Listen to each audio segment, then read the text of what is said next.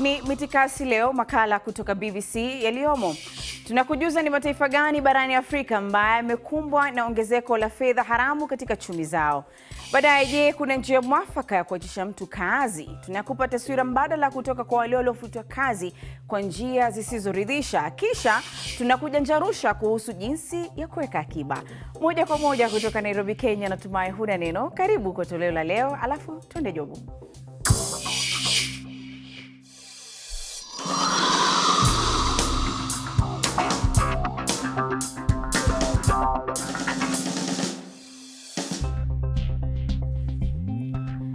Hiki ni kipindi kinacho kinachokutaarifu kuhusu biashara kutoka barani Afrika na kimataifa. Mie ni Linus Mwashigari.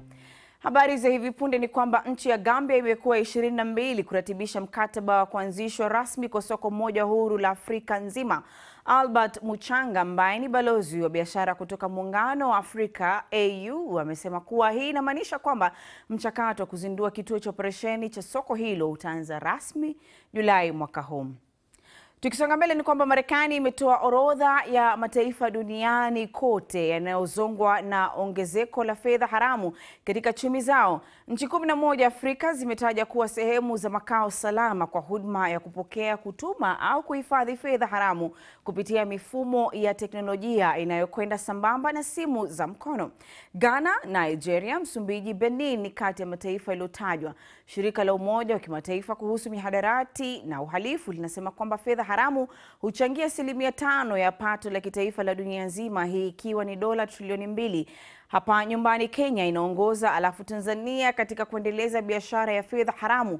Jarida la Citizen nchini Tanzania linasema vituo vya ubadilishanaji wa sarafu za kigeni hutumia kuendeleza biashara ya fedha haramu. Aidha, mwezi Machi mwaka huu vituo 80 vilifungwa vilivyokuwa vikikiuka sheria.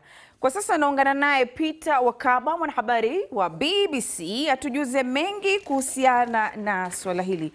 Shukran kwa kujumuika katika Mitikasi. Ni nini hatufanyi barani Afrika? Ni kudhibiti ama mamlaka ndio hatuna? Mm -hmm. Eh, kwanza kabisa Linus, eh, ni bayana kwamba masuala ambayo yanaibuka katika ripoti hii sio mapya. mm -hmm. Ni masuala ambayo yamekuwa yaki uh, yameenea hapa barani miaka karne kadha uh, miaka ambayo imepita, na nchi nyingi haswa Kenya na majirani wake wamekuwa wakiweka mikakati mingi ya kujaribu kupambana eh, nayo. mm -hmm. Kwa hiyo ni mikakati imefeli ama ni nini hawafanyi? Um, wajua hawa ni wafanyi biashara, wengine ni werevu sana, wengine wameweza kukaa one step ahead, yani wanaweza kukaa mbele mm -hmm. ya, ya, ya ile mikakati ambayo inawekwa mm -hmm. na ni serikali sio eti zimelegeza kamba no. Zinajizatiti, zinajaribu uh, kima cha uwezo wao kujaribu kudhibiti, lakini wa, inaonekana saa nyingine wanaweza kupitwa na mikakati ya wale ambao wanafanya kazi hii mm -hmm. au vingine mm -hmm. Kwa kifupi zaidi, fedha kama hizi haramu huathiri vipi uchumi wa nchi na jinsi biashara zinavyoendeshwa? Kwanza kabisa, um, fedha hizi huingia katika uchumi na kuanza kuzorotesha um, maeneo ambayo yanaweza kuwekezwa, kwani mtu huyu ana kile tunaita easy source of capital, anaweza kuleta hela ambazo hajapigania sana kupata mm -hmm. na ilhali wale ambao wanafanya biashara halali E, wamesumbuka sana kupata hela zao. Kwa hivyo kama wewe ukienda sokoni kununua mkate wasema ah, nataka kulipa shilingi kumi, yeye hata elfu mia moja atalipa. mm -hmm. na ndipo hapo haswa kunakuwa na ushindani. Shukran. Kwa sasa tupie macho taarifa zingine za kibiashara zilizosheheni vichwa vya habari kwengineko. Rais wa Sudan Omar al-Bashir amewachagua mawaziri saba wapya kama njia mojawapo ya kukabiliana na kuyumbayumba kwa uchumi wa taifa hilo, hatua iliyopelekea kuzidi kwa shinikizo kumtaka ajiuzulu. Vyombo vya habari hata hivyo vinasema kuwa mabadiliko hayo bado hayajatekelezwa nyanjani. Hatimaye Ghana imekamilisha kesi yake ya kwanza inayohusiana na ubaguzi wa kijinsia. Wanawake wawili wazima moto ambao walifutwa kazi mwaka 2013 na mwaka 2014 kwa kuwa wajawazito wamerejeshwa kazi na shirika la huduma la wazimamoto nchini Ghana. Hii ni Mitikasi Leo kutoka BBC. Tutakaangazia baadaye jinsi ya kuweka akiba ili ujikwamue kifedha wakati wa dharura.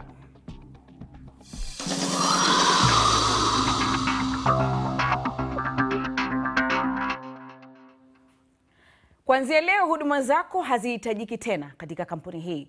Haya ni maneno ambayo wafanyakazi wengi huogopa kuyasikia na baadhi ya waajiri huogopa kuyasema. Kufuta mtu kazi sio jambo rahisi. Tumeuliza swali mtandaoni kutaka kufahamu simulizi yako kuhusu kufutwa kazi, iwapo ulipitia hali hii. Habart anasema hakupata onyo yoyote, bosi wake alimwambia tu asiingie kazini kesho yake. Martin naye hata hajui kilichotokea, anasema alifutwa bila ya kuambiwa sababu. Wengine nao nahisi waliadhibiwa kwa makosa ambayo si yao. Luke anasema kuwa alipokea mwaliko wa kuhudhuria kongamano muhimu, kisha akamwandikia bosi wake barua pepe akimfahamisha kuwa hata, hata, hatafika kazini kwa sababu angekuwa akishughulikia pasipoti yake. Bosi wake naye alimjibu kwa kumtumia barua ya kumfuta kazi. Je, kuna njia makhususi au matamshi mazuri ya kumfuta mtu kazi? Wataalam chini ya yetu ya nembo ya Mia Bora wanatupa jawabu, tuwasikize. Kabla tujamwatisha mtu kazi, lazima tumpe tahadhari ya kwanza na tahadhari ya pili. Um, baada ya hiyo tukiupa, tukiona kwamba huyo mtu hajatia ziada katika kazi yake, ndipo tunaamua kumwachisha kazi. Katika kumwachisha kazi mtu huyo um, lazima tumpe notisi au ilani uh, na kama hatuwezi kumpa ilani tutamlipa pesa kiwango fulani ili isimamie ilani hiyo ambayo hatukumpa. So unamweleza ni nini ambayo anafaa kutia bidii ili arekebishe, na ni, ni, ni mahali ambapo unaona kwamba yeye ni mzuri sana, yani hiyo ndio strength yake, na kama unaweza kumwelekeza katika kampuni ama katika area ambayo unaona yeye anaweza faulu zaidi, jaribu kumpatia hiyo motisha. Tunajumuika na mwanasheria na mtaalamu wa maswala ya ajira Rachel John Palangio akiwa Dar es Salaam, Tanzania, atujuze zaidi kuhusu suala hili. Shukran kwa kujumuika nasi katika Mitikasi leo. Mtu afikiaje hata kumwambia mtu kwamba leo usiingie kazini?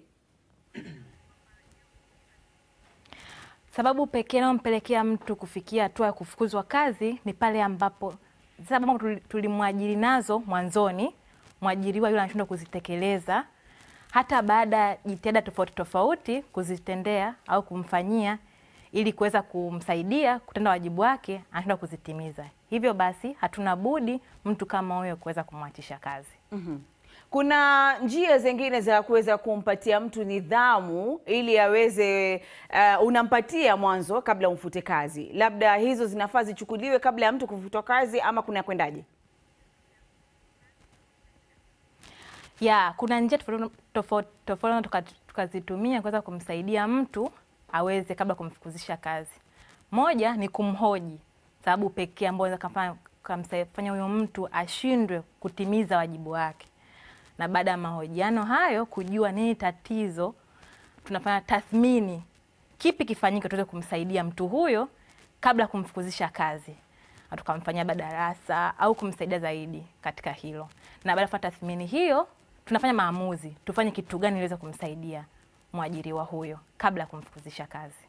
Kwa wale ambao wamefutwa kwa njia ambazo hazistahiki ama muda wao wa kukamilisha hiyo kazi waliokuwa wameajiriwa haujaisha, labda ni njia gani ambazo wanapaswa wachukue ama waweze kupata haki? Uh, ungewapatia mwongozo upi? Maanake kuna njia za mahakama lakini zinachukua muda mrefu, sio? Labda kwa mtazamo wako ni njia gani wanafaa wachukue?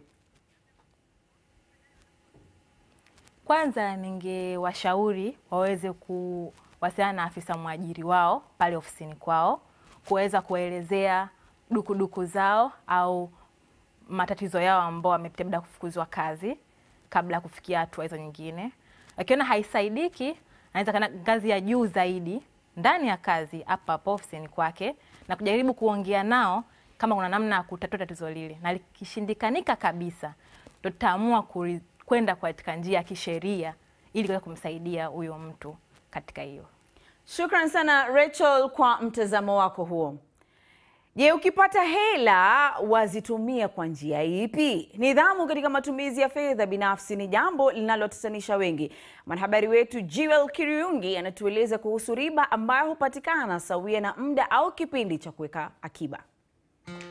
Sasa ni mwisho wa mwezi na umelipwa mshahara tayari. Na hivyo unaamua kujiburudisha. Lakini tafakari, jambo la busara zaidi la kutumia fedha hizo ni kwa kujiburudisha tu. Je, umefikiria kuweka akiba ili utumie wakati hali ni mbaya?